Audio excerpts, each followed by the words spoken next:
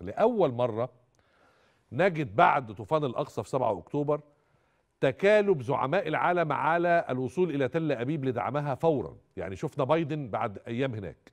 شفنا ماكرون. ده صحيح. شفنا سوناك. ما كانوش بيعملوا كده في جولات الصراع اللي فاتت. ليه؟ لأن هنا أصبح في تهديد لبقاء إسرائيل أو وجود إسرائيل. في 7 أكتوبر 2023 ما جرى في هذا اليوم وفي الساعات الأولى آه. هو حرب تحطيم أصنام.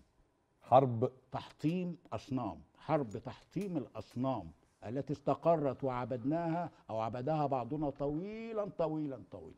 أهم صنم إن إسرائيل قوة لا تقهر. طبعا هذا الصنم كان قد حطم قبل خمسين سنة. 73 بس جرت أمور معاكسة في الخمسين سنة فجاء السابع من أكتوبر لكي يمسح ما جرى في الخمسين سنة. مم. إسرائيل هي الأكثر تفوقا تكنولوجيا هي الأقوى هي الأكثر تدريبا. نحن نريد أن نستجلب الحماية من إسرائيل.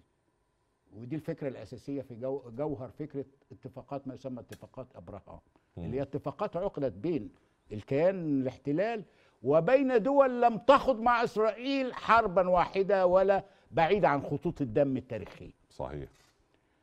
اتنين الذي جرى كمان انسحب على ما يسمى أجهزة الأمن والقدرة الإسرائيلية على وغزة دي قد إيه؟ ده 365 كيلو مترا وكأي بلد في الدنيا وكأي شعب في الدنيا يعيش في ظروف غزة أو لا يعيش فيها في عدد هائل من العملاء لأن لكل شعب مقاومه وخونته وإلا لم يكن شعبا صح. وإلا جبت لي شوية ملائكه أو جبت لي شوية طبعا. طبعا والشعب المصري الشعب الفلسطيني أي شعب في الدنيا. لا وإسرائيل مبدعة في تجنيد العملاء. جميل. والظروف كلها مهيئة. مم. طيب. كيف لم يمكن لهذه الإسرائيل؟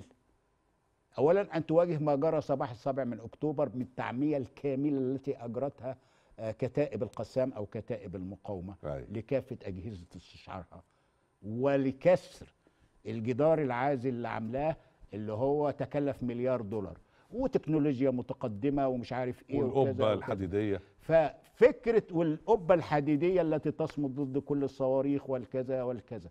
ثم كل الانهيار فكرة فصل غزة عن المجموع الفلسطيني اللي هي فكرة مش إنها بتحب حماس أو بتحب فتح ما هو ظهرت الأمور على الهوا دلوقتي. مظبوط. إذا كانت هي بتكره حماس عشان ضربتها وأزالت هيبتها وحطمت صنمها طيب إيه رأيكم في عباس؟ سلطة رام الله؟ ما هي آه. سلطة وديعة وفي تنسيق أمني وفي كذا. قال لك لا برضه ما تجيش. ده معناه إيه؟ معناه إن اللي حصل في 7 أكتوبر كمان نسف فكرة تجزئة غ- آه، فصل غزة عن الضفة. هما مفصولتان جغرافيا خلقة من يوم احتلال في 48 لكن كمان الاتصال السياسي. عباس بصرف النظر عن إن هو آه، واخد الجانب الآخر المتطرف تماما. لم يقبل به نتنياهو. لأنه فلسطيني. ومن هنا الحرب اللي موجودة الآن ليست حربا ضد حماس.